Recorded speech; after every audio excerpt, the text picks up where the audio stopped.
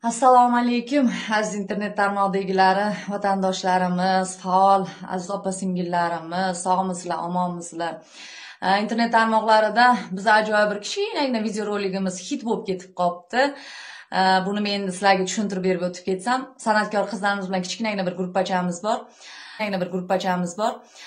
Bir dugonamiz tadbirga bormaganligi uchun yonimdagi o'rtog'im bilan kuytirish maqsadida ozgina bir qo'ygan bizni teatrimiz edi.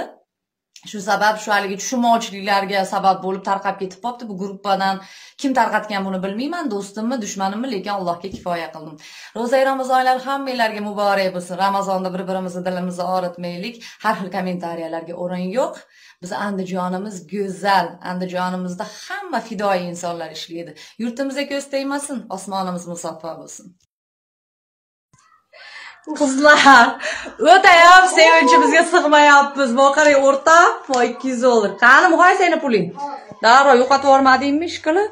Voy o'rtoq hokim buva hamma konsert tugagandan keyin bizga qo'shiq aytishdi dedi. To'ralarimiz o'sha damlarda aytib. Mana buxoyniki mana meniki. E to'rt ming dollar pul shuni berib yubordi. O'rtoq duo qil duo qilib turaver o'rtoq. Sen boysang men boyga men boyga sen voy boqaring voy boqaring xursandchilikni so'rab muzikant bechoralarimiz aytmaysam hammasiga yuz dollardan bizga ikki yuz dollar hammaga aparachilarga ham berdi. Aparachilarga yuz dollar shunaqa qilib bo'lishdik bechora hokim to'rt ming dollar uni ichida besh yuz million shotimizga dushanba kuni pul o'tkazib beradigan bo'ldi. Zdaniyamizni qilib zdaniya qilib berdi bizga. E nima senlar yurishasan nima menga aytishmaysan deb. Hali yangi qurilgan madaniyat saroyi bor shu filarmoniyaga berish e xohlagancha anaqasiga balansiga o'tkazishib olsin deb. Sokoladi edi